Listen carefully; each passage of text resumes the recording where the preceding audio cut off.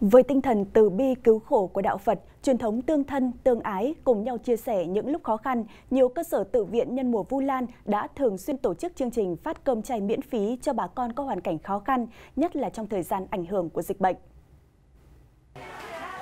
Sáng qua ngày 19 tháng 8, tức ngày 1 tháng 7 năm canh tí, Chư Tăng và Phật tử chùa Đống Cao, huyện Nga Sơn, tỉnh Thanh Hóa đã tổ chức phóng sinh và tặng gần 300 suất cơm chay miễn phí đến bệnh nhân đang điều trị tại Bệnh viện Đa khoa huyện. Đây là hoạt động từ thiện được thực hiện vào ngày mùng 1 và ngày rằm hàng tháng nhằm chia sẻ khó khăn với bệnh nhân trên địa bàn. Còn tại chùa Vạn Phật thành phố Pleiku, tỉnh Gia Lai, 400 hộp cơm chay đã được thực hiện nhằm giúp đỡ những bệnh nhân đang chữa trị tại bệnh viện huyện Lacrai, bệnh viện Quân y 211 và những người khó khăn trên địa bàn thành phố. Đây cũng là hoạt động định kỳ được tổ chức hàng tháng của chùa Vạn Phật